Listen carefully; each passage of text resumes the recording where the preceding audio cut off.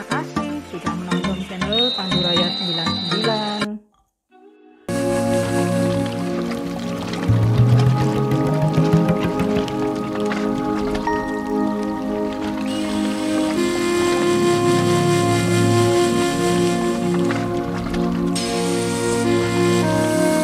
Kiki juga memberitahu Randy bahwa sampai detik ini Andin tidak bisa dihubungi dan tidak tahu di mana keberadaannya saat ini. Kemudian setelah terjadi percakapan itu, Randy nantinya akan berbicara dengan Yolanda dan mengatakan bahwa Ibu Andin belum diketahui keberadaannya sampai saat ini.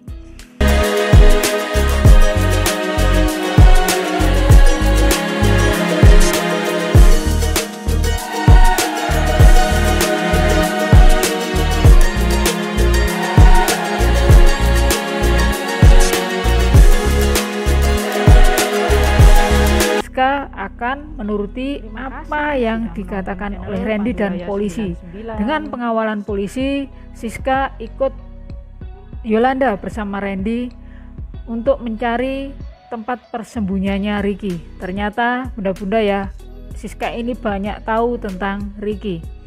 Setelah sampai di sebuah gudang, di situ Randy turun, tapi